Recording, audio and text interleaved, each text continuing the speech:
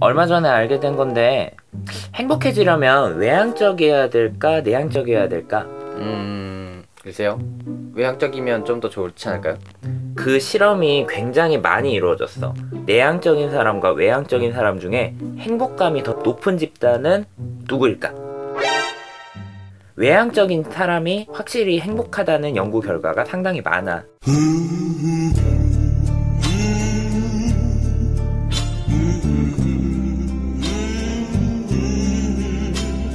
그러나 그러면 내향적인 사람은 행복하지 않은가?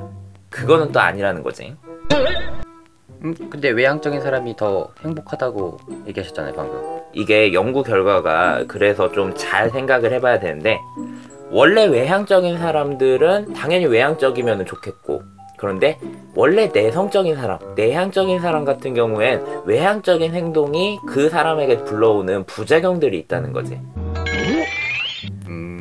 음 그러니까 이제 평소에 안 입던 옷을 입으면 불편한 거네요 그렇지. 그래서 내성적인 사람들은 외향적인 행동을 했을 때 아주 잠깐 좋아지는 행복감이 당연히 있기도 하지만 음 거기에 플러스로 원래 자기가 가지고 있었던 오신 뭐 주의력 또 긍정적인 자기 생각 집중 이런 것들을 통해서 어, 자기만의 세상을 만들어가는 것이 그 사람의 행복감에도 또 중요한 역할을 한다.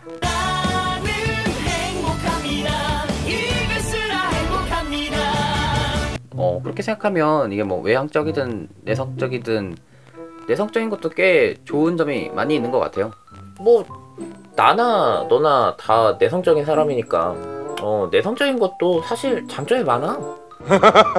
책 같은 것도 되게 읽는 거 좋아하는 친구들 보면 내성적인 친구들도 많고 뭔가 이렇게 토론하거나 뭐 이야기했을 때 아 좀 더 깊이 있는 얘기를 하게 되는 편도 있는 것 같고 음.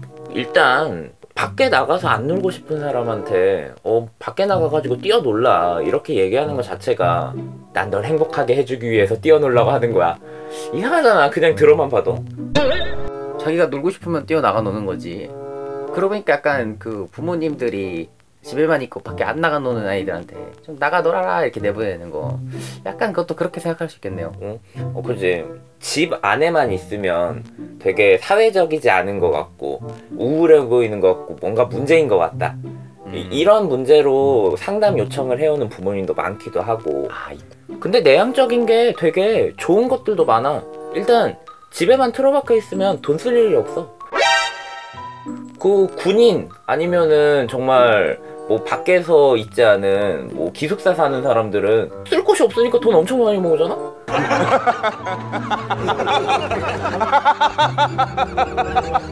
아 그쵸 그쵸 제가 지금 지방에 기숙사 살고 있지만 응. 돈을 쓸 데가 없어요 어, 쓸 데가 없으니까 쓰잘데가 없는 거에 쓰잖아.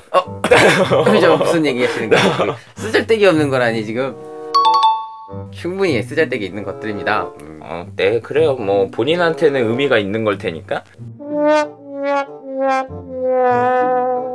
뭐 내향적이면은 아까도 얘기했지만 뭔가 자기 자신에 대한 것만 생각하는 게 아니라 생각이 많은 거는 동시에 다른 사람에 대해서도 생각을 많이 하고 뭔가 관찰하는 사람들도 보면 이게 내향적인 사람들이 더 많은 것 같아요. 오히려. 관찰력도 높아지고 뭐 그냥 집 안에 있다고 해서 생각도 집 안에서만 하는 건 아니다. 생각은 이미 바깥에 우주를 날아다니고 있고 음, 어 그러. 그러는데 그- 왜 그걸 무시하느냐? 그리고 일단 집에 좀 있어야 쉬지. 어, 잠도 좀 자고 어, 밖에만 쏘다니면 사람이 빨리 늙어요. 어, 집에서 맨날 꿀잠 자는 사람들 보면 피부도 좋고 얼마나 맞아요. 좋아? 음. 제가 피부가 좀 하얗지 않습니까? 이게 어, 다 어, 나도- 집구석에만 있었어. 나도 뽀얀 거가 결국에는 아, 집에 알겠어. 있었던 걸로. 맞아. 이게 무슨 소리야? 이게 사람들이 어 왜 이렇게 피부가 하얘? 아, 아무것도 안 하고 집에만 있으면 돼요. 그치.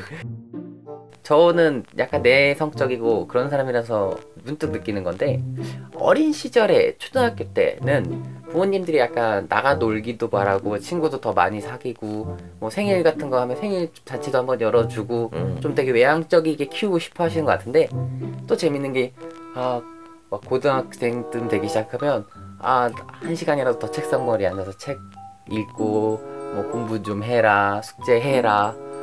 결과적으로 보면 내성적이고 약간 되게 집중력 있는 사- 아이가 되기를 약간 원하는 것 같아요 그러니까 어릴 때는 뛰어놀아라 했다가 이제 공부 직접적으로 해야 되는 나이 되면은 좀 앉아가지고 공부 좀 해라 이랬다가 음. 어쩌라는 건지 까르면 까는 거지 뭔 말이 그리 많아?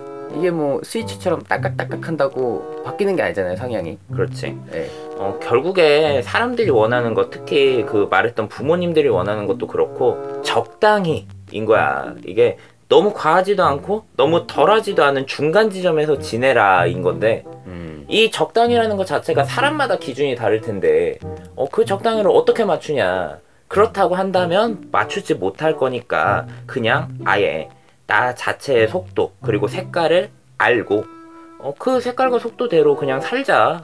음, 음. 그러면은 충분히 행복할 수 있다 라는 거지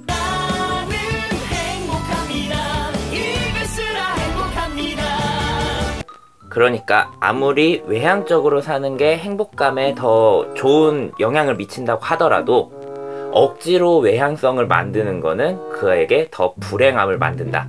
이거를 기약하고 있으면 좋겠다는 거고. 그러니까 이거지. 나에게 좋은 것을 하자. 일단 그러려면 내가 뭘 좋아하는지부터 알아야 되겠지.